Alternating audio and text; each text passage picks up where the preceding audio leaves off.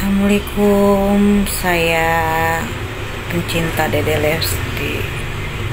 Semangat terus Dede Lesti. Tetap berkarya karena Allah menguji umatnya tidak di luar batas kemampuannya.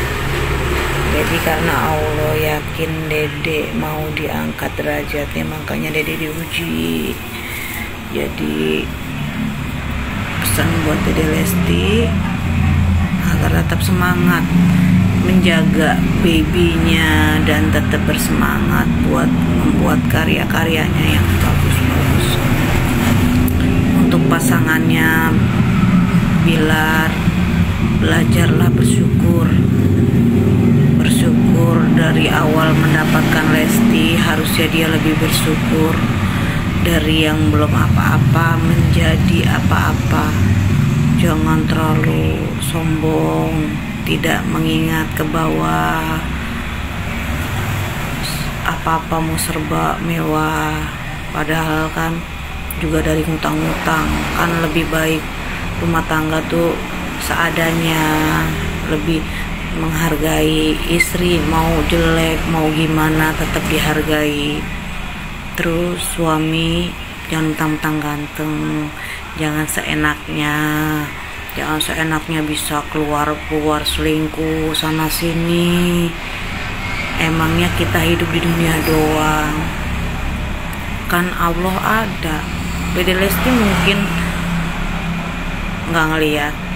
Tapi kan Allah maha melihat.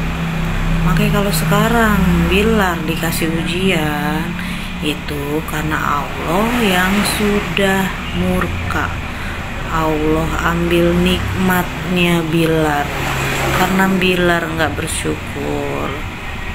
Bersyukur punya istri baik istri yang apa ya dia rela bekerja buat ke, ke suaminya intinya tetap Nah, keuangan istri yang bekerja itu kan dia dulu ibadah buat suaminya. Tapi jangan dikerasin.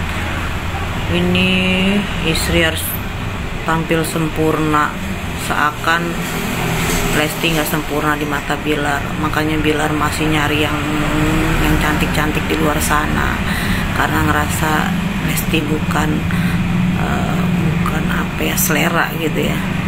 Tapi cobalah lebih tulus makanya lebih tulus melihat wanita tuh lihat hatinya. Jangan melihat muka kalau mau cari istri.